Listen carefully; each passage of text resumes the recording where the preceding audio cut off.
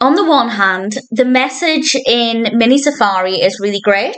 On the other, I don't love it. This is the second segment of the fifth episode of the third season of Mickey Mouse Funhouse, and everybody is reading books and Minnie is reading a book about a cat of spots, which is a cat with spots. And they decide to go to the enchanted forest to try and track down this cat. And Minnie is using the instructions or the information in her book to try and find this cat. And there will be spoilers as I explain what happens, as I will explain why I kind of love but also didn't love the messages in this segment. And they're in the Enchanted Forest, it's well animated, it's a nice area, absolutely no complaints there. However, some of the others have ideas that might help them find the cat of spots, but these ideas are not represented in Minnie's book. And ultimately, what happens is that they try some of these ideas and they find things out about the cat of spots that aren't in the book the information that they learn is not in the book and the message there is that sometimes you don't know everything about something and you should have an open mind.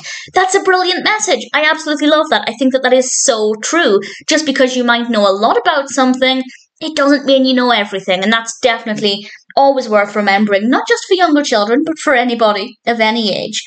But the other message there is that books don't know everything which is not a lie I'm not saying it's not true, but as somebody who really advocates reading for everybody and from a very young age, I don't like the fact that it is showing that books are not all knowing.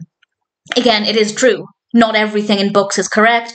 Books can't tell you absolutely everything. Well, it depends on the topic, but in general, books can be a starting point. There may be more to learn.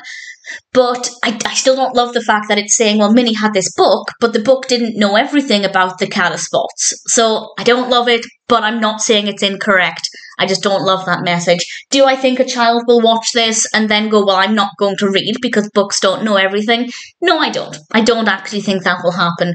But I still didn't absolutely love it. But nevertheless, it is true, and I think the message there is still pretty great and with a fun story, and I love cats. So the cat aspect definitely appealed to me.